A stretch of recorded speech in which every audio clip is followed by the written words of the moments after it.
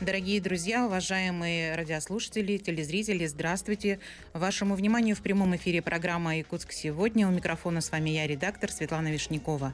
Наши режиссеры Ольга Степанова, Николай Дмитриев, а в нашей студии гости, люди, которые знают очень много про красоту, про ювелирные изделия. А наш эфир ко дню ювелира, который будет 23 октября. И сегодня цель нашего эфира рассказать про выставку, которая тоже откроется в этот же день. А, представлю своих гостей. Галина Павлова, председатель Ассоциации ювелиры Арктики. Галина, здравствуйте. Здравствуйте. Андрей Захаров, заведующий выставки «Сокровищница Республики Саха-Якутия». Андрей, здравствуйте. Здравствуйте. Леонид Николаев, член торгово-промышленной палаты Республики Саха-Якутия, председатель комиссии по развитию предпринимательства в сфере добычи и переработки полезных ископаемых. Леонид, добрый день. Добрый день. Людмила Федорова, преподаватель Якутского художественного училища имени Петра Романова. Людмила, здравствуйте. здравствуйте. Спасибо большое, что вы нашли время и пришли сегодня в нашу студию. А, за организацию эфира я хочу поблагодарить э, вашу коллегу, секретаря Министерства финансов Анну Чусовскую. А, я думаю, она сейчас нас смотрит. И начать, наверное, я эфир хочу с того, чтобы раз мы уже к Дню ювелира, к празднику людей этой профессии, начать, наверное, с того, насколько эта профессия сегодня популярна, востребована и какой основной навык у людей, мастеров этого дела. Кто э, захочет поделиться своим мнением в начале эфира, пожалуйста. Ну, у нас ювелиры очень востребованная профессия, скажем так. Угу. Сейчас, да? У нас выступает это же э, ювелирное искусство. Это ребята, которые хотят работать в сфере искусства. Это художники, это да? Это обязательно художники. Обязательно художники. Люди, Усидчивые, которые создают, очень... создают красоту. Да, с большой фантазией люди. Да, это и дизайнеры.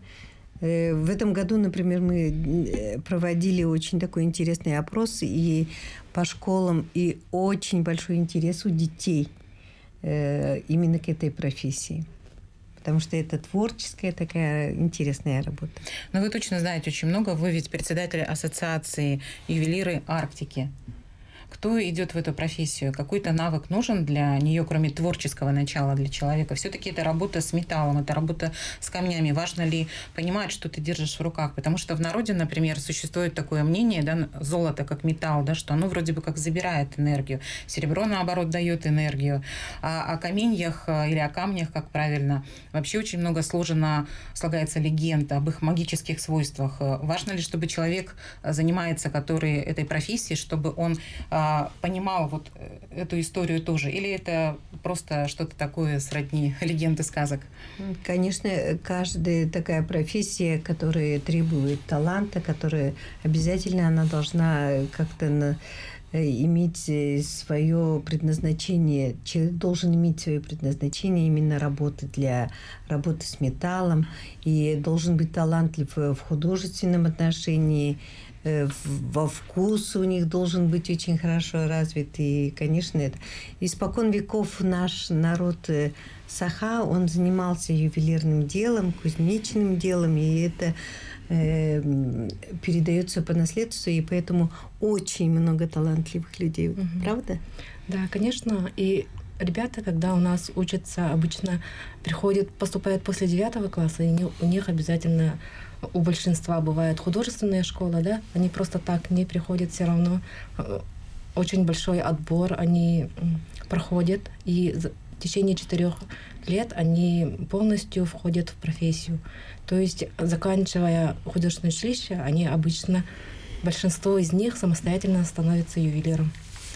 Ну, еще я хочу сказать, что Э, именно художественное училище и производство, uh-huh. допустим, наше да, производство, они очень тесно мы контачим, и, естественно, мы видим, как ребята занимаются, насколько у них э, такой интерес к своей профессии. И это и производство, и учеба это совмещено у нас. У нас практика проходит в, э, в Керге, да, производстве самом.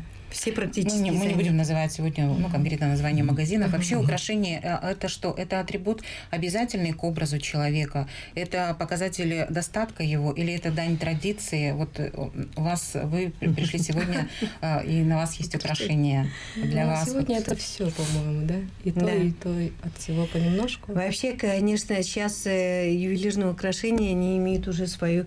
если раньше покупали, допустим, есть золото, брали золото, да, есть серебро, брали серебро, э, тогда было время дефицита. Сейчас, когда уже есть это все, есть массовые изделия, то люди как раз интересуются именно индивидуальным, функциональными, чтобы у каждого изделия была функция своя. То есть, э, э, естественно, как оберег. Да, А вот у вас наверняка на ваш да, оберег. это испокон веков тоже, вот то, что оберег. Я угадала? Да, правильно. У нас есть э, вообще в якутском э, символика такая, где э, девочка может выйти замуж, желание исполнить, допустим, развить бизнес. Очень много разных Функций. функций. да. И это должно быть все индивидуально.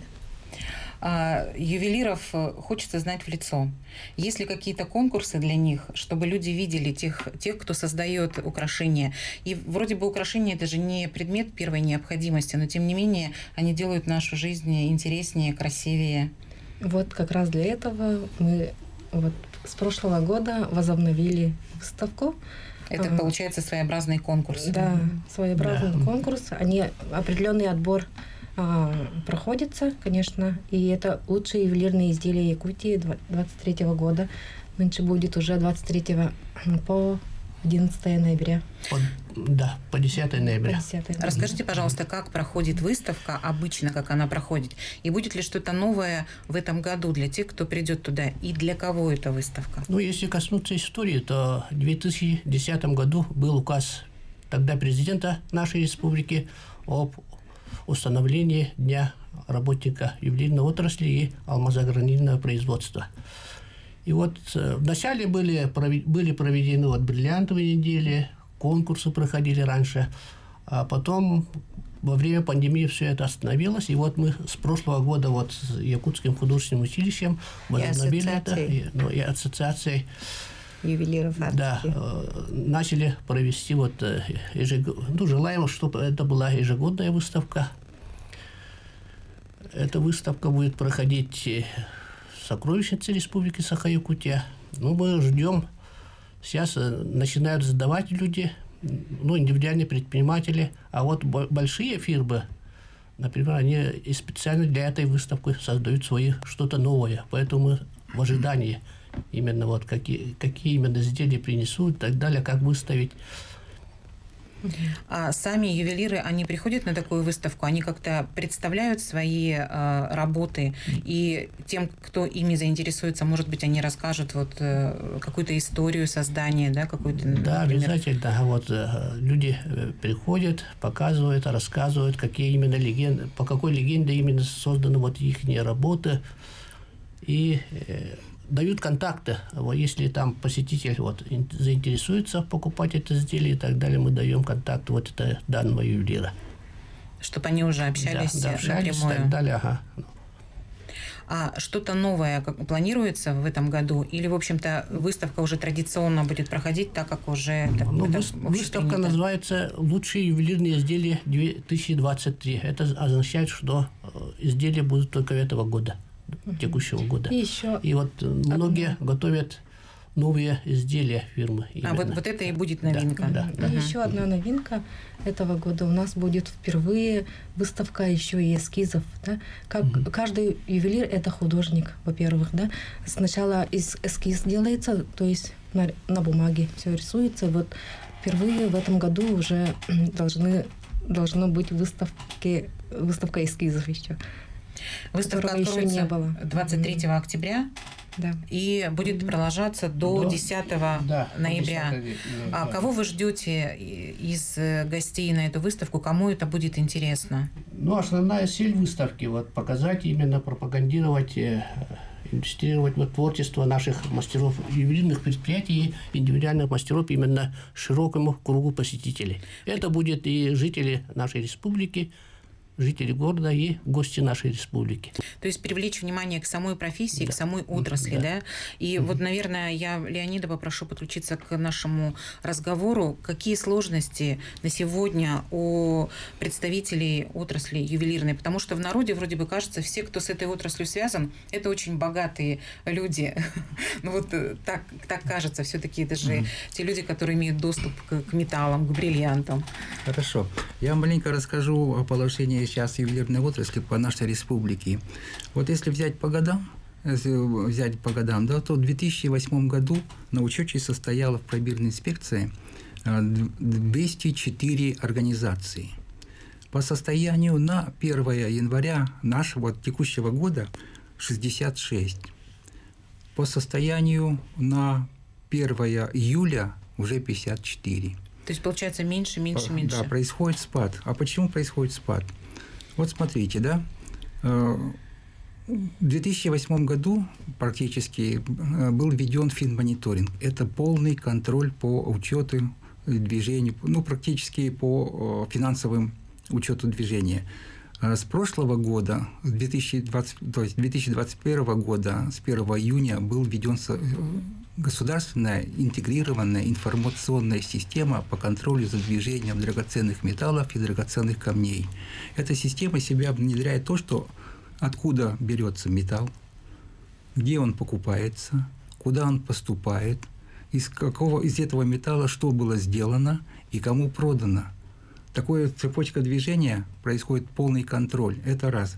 А с этого года, ну, у нас 2023 года, с 1 января, согласно федеральному закону 47, от который был принят 9 марта, переведены все предприятия вне зависимости от форм собственности с упрощенной системы налогообложения на общую систему налогообложения.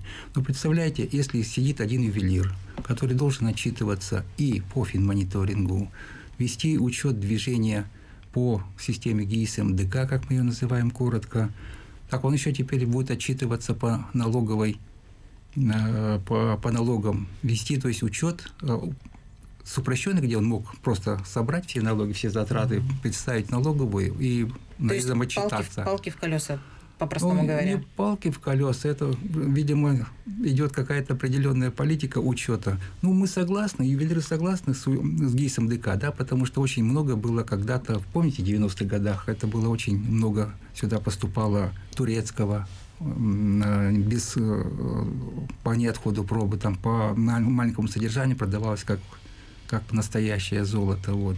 Систему, конечно, учета налаживать надо. Вот. Но если она, конечно, уже готова, она когда уже сформирована, но ее внедрили в таком сыром виде, что каждый раз, вот каждый месяц какое-то происходит изменение. Вот мои коллеги подтвердят это, что ну, действительно приходится каждый раз что-то новое опять изменять в программе, опять изменять в учете, опять какие-то движения, поэтому очень тяжело. Финансовые затраты дополнительные. Финансовые затраты, да, это специальная программа, специальный учет, специальная... Э, сейчас вот на каждое изделие устанавливается QR-код. Вот. Это такая маленькая это, которая читается лазерной указкой, которая про него будет написано все полностью, откуда сделан, кем сделан, и сколько он весит, какие там камни находятся. С одной это... стороны, хорошо то, что ты пришел и сразу можешь да, навести, да, навести. Э, да, свой телефон и прочитать про это изделие полностью всю информацию. Угу. Ну, особенно вот эти э, наши штучные э, мастера, которые работают в одиночку, они просто не выдерживают это. И поэтому они уже переходят либо уже кто кто куда, кто на бижутерию, на простые такие вот моменты. Вот. И самое тяжелое то, что еще система требует постоянного, э, как бы сказать, чтобы было интернет постоянно. Ну, для севера это, это, конечно, очень тяжело. Не все наши деревни, улусы еще имеют э, такую возможность. Такую да. возможность. Поэтому это практически уже их выключает из этой системы. Вот заключается в чем трудности наших профессии. И к чему же это приведет, если дальше вот это вот все будет э, именно так и настаивать будут на таком порядке? Ну, тут, видимо, вот поэтому ассоциация ювелиров, она и должна объединить mm-hmm. в, этой, в этой отрасли, чтобы помочь нашим ювелирам э, уйти из этого положения. Кто-то будет, видимо, со- создаваться в определенные промышленные такие ну, корпорации, или как нам сказать, не корпорации, а объединения, наверное, скорее всего, правильно будет сказать. Вот, чтобы можно было... Кто-то... Вот сейчас вот мы будем проводить, круглый стол будет э, у нас проходить с этой тематикой, где мы постараемся рассказать, довести ювелирам не только состояние ювелирной отрасли в республике, но и помочь им э, с бухгалтерским учетом, потому что есть организации, которые берут на аутсорсинг. Вот им подсказать это. Подсказать, какие программы можно будет внедрить им, чтобы можно было самим вести учет по движению. Ну, как-то им помочь в этом плане информационный. Вот для этого создан наш комитет при торгово-промышленной палате, который помогает ювелирам быть все-таки информационном поле, не за не, ним. Не уходить из этой профессии. Не уходить из этой ну, профессии. Ну, потом мы еще дополнительно, если говорить об этом, о трудностях, то мы э, и с торгово-промышленной палатой, и с нашим э, законодательным органом пишем э, письма ассоциации э, и художественное училище у нас тоже помогает, да. Мы пишем письма в различные органы, не только в региональные, но и федеральные органы. Именно по изменению налогового законодательства сделали несколько предложений, и эти вопросы сейчас рассматриваются. А как в идеале было бы хорошо? В идеале вообще, когда вот с 1 января перешли на полное налогообложение, должен был быть переходный период. Ведь э, ювелирка – это не хлеб, который каждый день берется, и обороты у нас каждый день, да, то у нас получается 80% товарных запасов остались с прошлых лет. Согласитесь? Да. И получается, да. что мы в, в те года мы не платили налог на добавленную стоимость, и 80 вот эти процентов получается, что за эти товары мы платим двойной НДС. Практически у нас получается 38 процентов. НДС мы оплачиваем сейчас. Конечно, для э, производителей это очень сложно. Это будет маленькая зарплата. Это не только, наверное. не только маленькая зарплата, это э, вообще, э, можно сказать, ювелирные производства не только у нас в регионе, по всем регионам э, нашей страны, России идет такой процесс. Это касается именно средних и малых предприятий. Если большие предприятия, они все время были на НДС, то в этом с 1 января перешли вот мелкие, средние и малые совершенно предприятия, ИП тоже. И получается, что Э, оплачивая такой вот... Э, если был бы переходный период какой-то, хотя бы вот растянули бы его на полгода, на год, тогда было бы все-таки проще. Скажите, что вот э, такой бы процесс был бы лучше. Ну и кроме этого еще мы другие предложения дали по налогообложению, что можно было бы там и минимальный вот этот э, э, ставку как-то уменьшить э, и...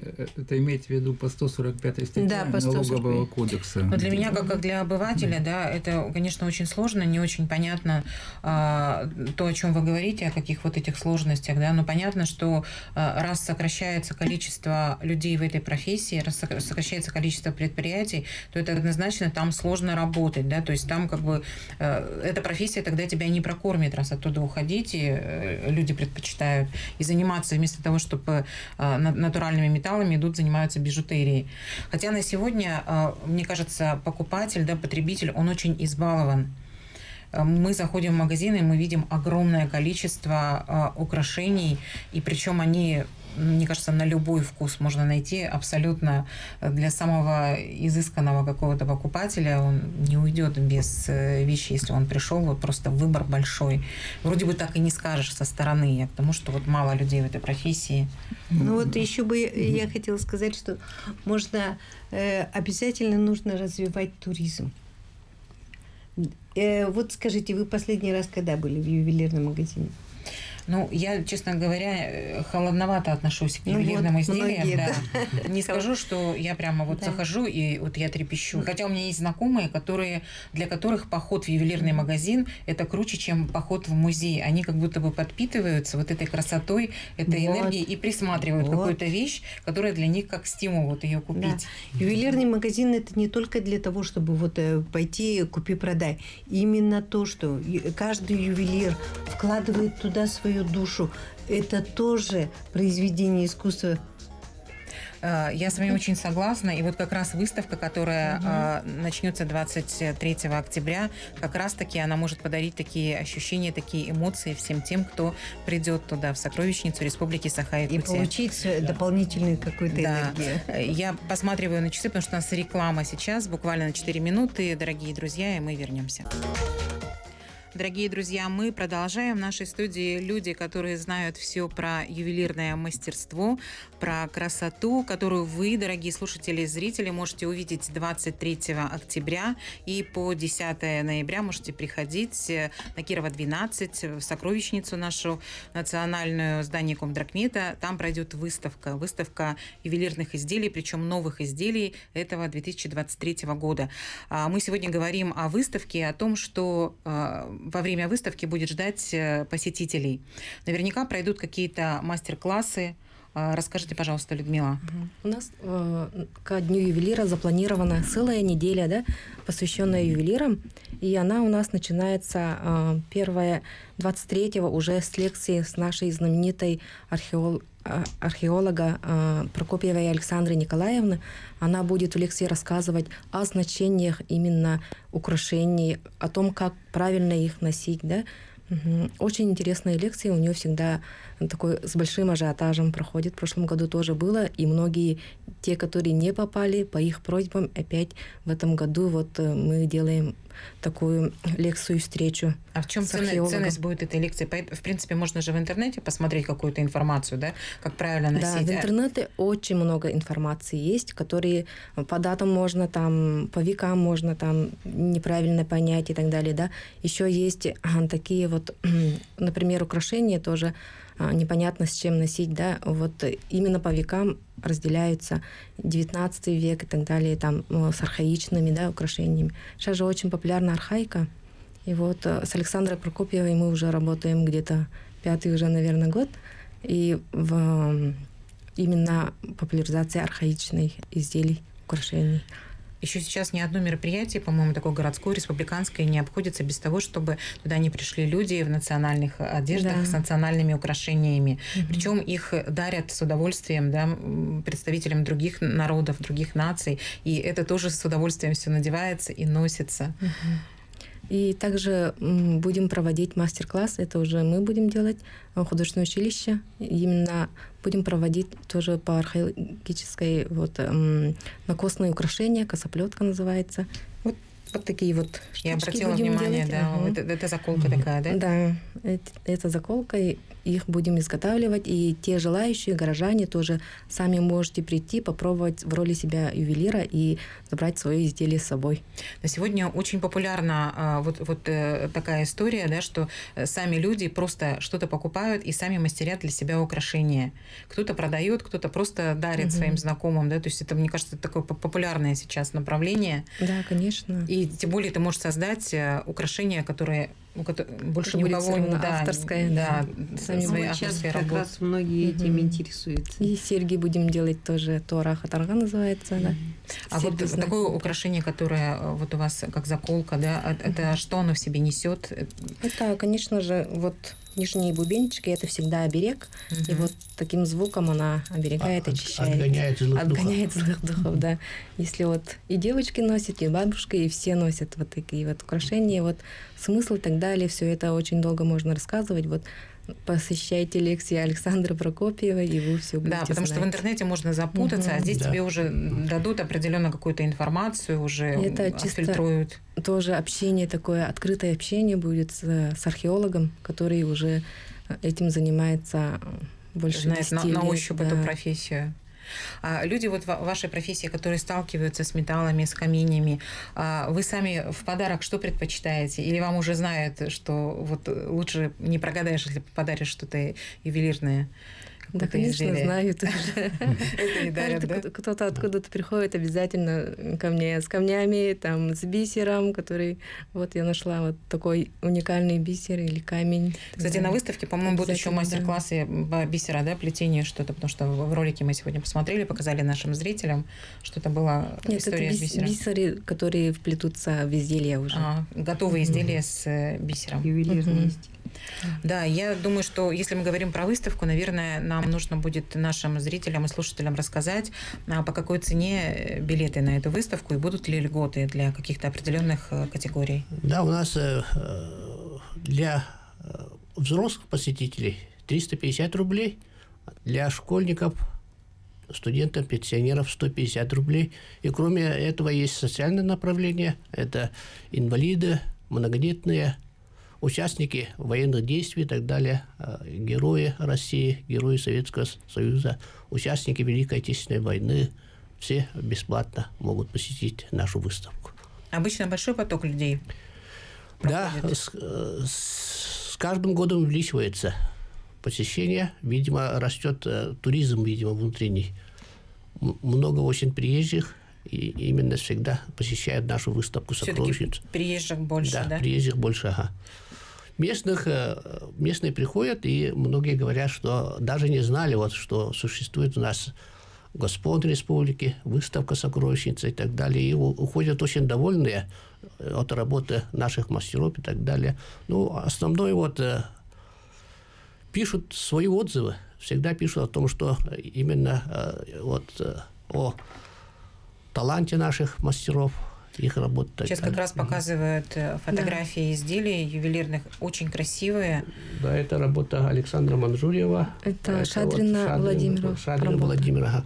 Прямо неожиданные какие-то да. такие. У нас есть очень много изделий вещи. учебных заведений, у студентов учебных заведений. Это работы, курсовые, дипломные работы студентов. Мы их часто берем на э, выездные выставки, вот центральные города, вот Владивосток, Кемерово, и вот посетители всегда удивляются, как, какой у вас талантливая молодежь, и как вы даете работать и, и э, студентам вот такие серебряные драгоценные металлы. А вдруг испортят и так далее, вот начинают вот такие вопросы задавать. А вдруг испортит? Бывает такое? Ну, пере, металл-то можно переплавить, заново сделать. А, э, есть, же, есть такое же поверье, что металл, например, нельзя вот с другого человека, да, например, там пере, перепокупать, что ты вместе с металлом, который носил, да, да с изделием, да, есть, который носил другой да, человек, да. ты можешь э, вот эту вот mm. энергетику, какую-то там историю зацепить чужую. Ну, сейчас это? многие на заказ хотят ну, заказывать именно вот и мастерами далее свое индивидуальное. А если уже переплавил металл, то все, он как будто перезагрузился, да, конечно, новое да. уже, да, это конечно совсем новая история. Но глядя вот на эти украшения, очень красивые, да, а, даже не, не хочется вот мысли допустить про то, что эта профессия может вымирать, да, и как-то может быть меньше мастеров, наоборот, кажется, что их должно быть больше, потому что востребованы такие отзывы теплые, да, пишут да. На, на выставке. Что же нам делать? чтобы этого не допустить? У нас очень талантливые ребята, ну, молодежь, ювелиры, да, и вот им нужна сейчас поддержка, хорошая поддержка. Вот. А расскажите, в этом, как, какая, в этом году, какая поддержка нужна? Да, в этом году вот да, Ассоциация ювелиров Арктики, мы выиграли грант mm-hmm. вместе с художественным училищем, выиграли президентский грант Российской Федерации, где обучили 30 детей на юного ювелира и юного дизайнера.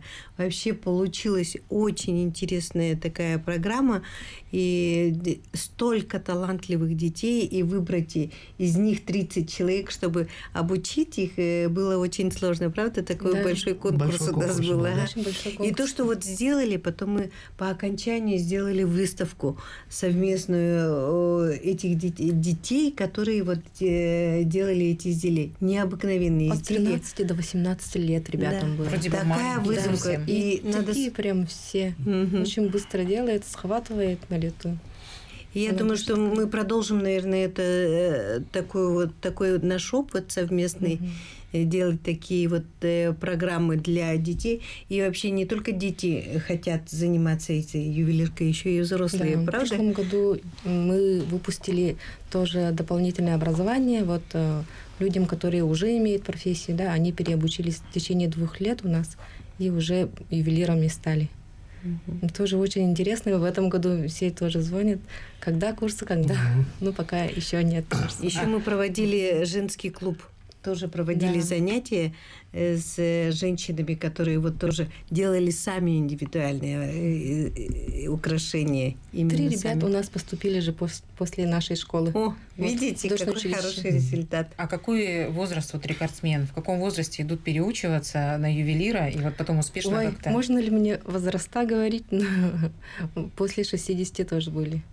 Ничего себе. Мгм. И, И, сейчас они очень счастливы. это же очень Мастерскую работа. свою открыли и работают. Зрение здесь. нужно Да. хорошее. И получается. После 50 тоже были. Но тогда, смотрите, профессия все-таки популярная, да, все-таки туда идут и с помощью нее зарабатывают деньги или как-то больше вот находят себя. Находит себя и зарабатывает, конечно же, да. Но сейчас вот ювелир один не может э, Просуществовать, да, да. обязательно Он у должен него быть- будет бухгалтерия и так далее, да. То есть он не просто там художник, но он еще и математик получается, да. Так, Он поэтому не просто нужно фин- математик, он еще Да. и финансист. Да. Финансист Мгм. должен Поэтому быть. лучше объединяться, создавать Мгм, свои да. новые предприятия, да, частные, Мгм. индивидуальные. Вот в прошлом году а, посвященная наша выставка была молодым именам. А, В прошлом году именно молодых мы призывали, чтобы ювелирное искусство а, молодежь как воспринимает, да, вот именно которые вот недавно закончили, как работает. И по итогам этой выставки очень хороший уровень у наших скажем, мастеров, да. А в этом году будет выставка а, лучшие ювелирные изделия. Уже все-все-все предприятия могут участвовать, и поэтому Желающие все. в этом году тоже очень интересно будет, я думаю. И вот э, по сравнению с витринами, да, вот вы идете на витрины, смотрите э, в магазинах, да, э, там совсем другое ощущение, нежели в музее уже совсем э, под другим светом, под другим освещ- освещением стоят именно э, вот эти вот эм, индивидуальные изделия, авторские изделия э, высокого иску- ювелирного искусства уже изделия. Если кому-то что-то понравится, он Мгм. может вот потом, Да, да, с мастером да. сам созвониться и приобрести да, какое-то изделие. Да. Да. Я хотела бы дополнить Да, еще, пожалуйста. что на будущий год мы ведем сейчас переговоры с Российским этнографическим музеем.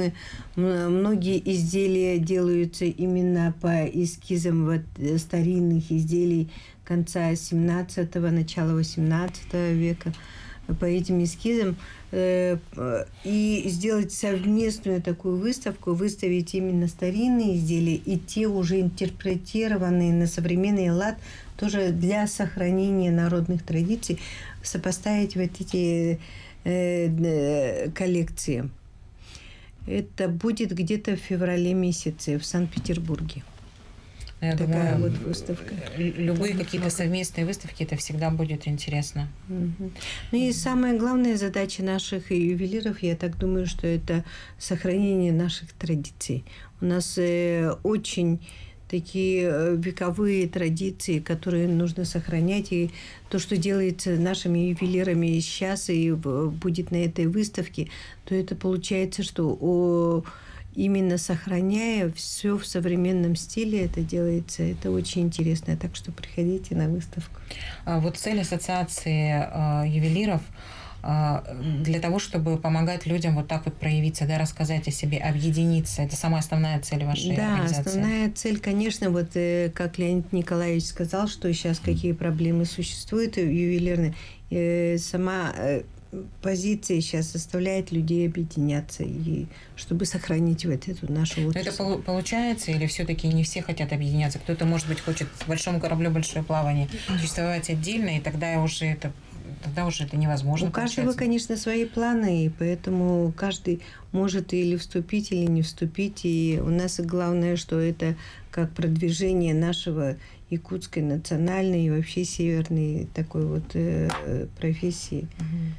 Сейчас еще и э, союз ювелиров планируется создание, да, союза. Мгм. И вот э, как раз круглый стол будут э, проводить вот ассоциация, э, ну, союз ювелиров республики. Это для того, Да, чтобы... для того, чтобы объединять и для того, чтобы э, вот с проблемами вместе как справляться. Ну, Какие-то и под- интересы. и подсказать Ага. там, что Подсказать. как Ага. можно обойти эти проблемы с меньшими потерями.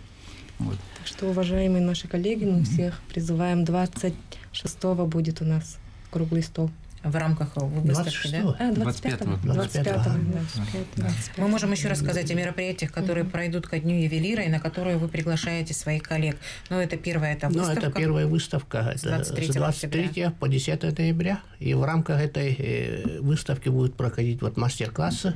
Якутское художественное училище будет проводить. Людмила будет проводить. Лекция, беседа, вот э, встреча с, с этнографом э, Александрой Прокопьевой.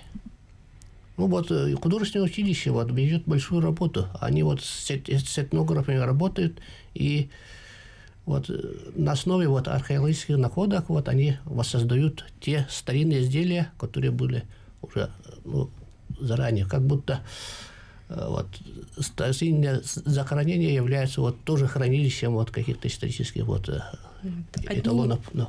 Одним из этих самых ярких, наверное, работ будет представлен тоже на выставке. Это из фи- начальник, ну, украшение для невесты из фильма «Не храните меня без Ивана».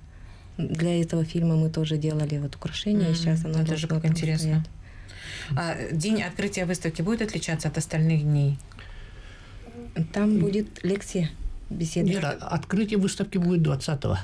А, открытие 20 А- отдельно. А- Официально. а посещение уже А посещение с с 23-го. 23-го. 23 А на открытие вы приглашаете уже там своих коллег, да? там, То есть а, это да, э, такое... участники вот э, этой предприятия, индивидуальные предприниматели и так далее, вот, которые именно будут участвовать Могу на этой добавить? выставке. Да, пожалуйста, Да. добавьте, что у нас Могу- остается немного времени, вдруг я что-то не спросила. Хочу добавить, что по, по период проведения э, ювелирной недели будут по круглому столу, там будут не только рассказываться о состоянии дел да, в республике по ювелирной отрасли, но и будет оказана помощь в бухгалтерском направлении учете движения. По 1С бухгалтерии будут специально приглашены. Вот. И будут рассказаны э, методы постановки на учет, потому что многие ювелиры не смогли встать на учет по новым требованиям. Там будут ну, тоже как бы мастер-классы, как бы, чтобы можно было встать на всех законных основаниях, чтобы работать с драгметаллами, чтобы не было никакого нарекания со стороны э, контролирующих органов. Вот. Поможем, как им встать правильно на учет, получить спецразрешение. Это будет все проводить э, в рамках круглого стола.